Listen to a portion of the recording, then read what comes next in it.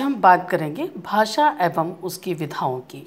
मैं डॉक्टर सुशीला शील भाषा के बारे में बात करते हैं तो हम जानते हैं कि भाषा वह साधन है, जिसके माध्यम से हम सोचते हैं तथा अपने भावों और विचारों का परस्पर आदान प्रदान करते हैं। भाषा का अध्ययन। हम भाषा का अध्ययन दो रूपों में करते हैं। एक विषय के रूप में और दूसरा साहित्य के रूप में। जब हम विषय के रूप में करते हैं तो उसमें भाषा का अर्थ, उत्पत्ति, प्रकृति, क्षेत्र, भाषा के कार्य, प्रकार, महत्व, स्वरूप, लिपि, व्याकरण, भाषा विज्ञान इत्यादि आता है। और अगर हम साहित्य के रूप में करते हैं तो साहित्य हमें दो रूपों में दिखाई देता है, श्रव्य साहित्य और दृश्य साहित्य। श्रव्य साहित्य में गद्य, पद्य एवं चंपू काव्य आते हैं और दृश्य में नाटक आता है। भाषाओं की विधाएँ, भाषा की विधाएँ, और ये विधाएँ शिक्षण की दृष्टि से हैं, गद्य, पद्य, नाटक, व्याकरण और रचना। अब हम बात करें कि गद्य क्या है तो संस्कृत की गद धातु से उत्पन्न ये शब्द है, जिसका अर्थ है स्पष्ट कहना। आचार्य विश्वनाथ ने कहा है कि छंद बंधहीन शब्दार्थी योजना को गद्य कहते हैं। गद्य का प्रारंभ आधुनिक काल से माना जाता है।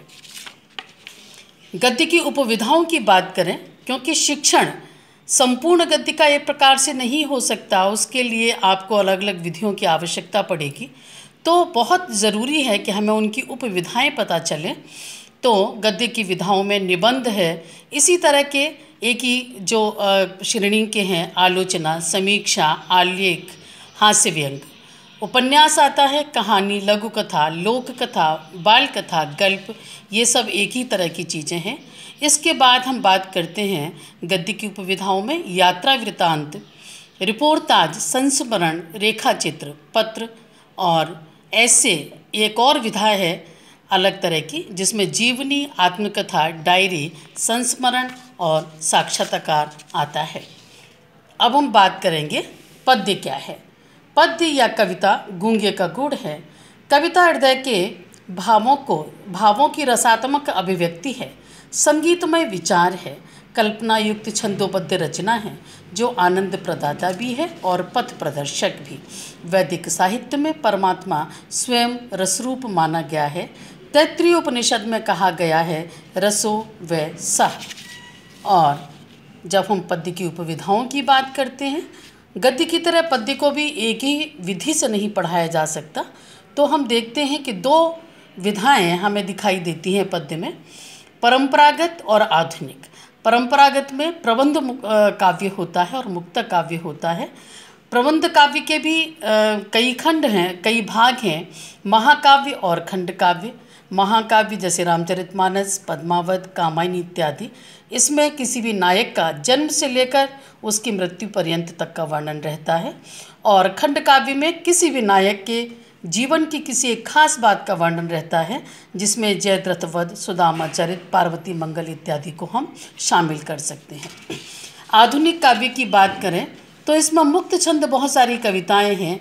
हाइकू जो जापानी विधा है पिरामिड एक नई विधा का नाम है।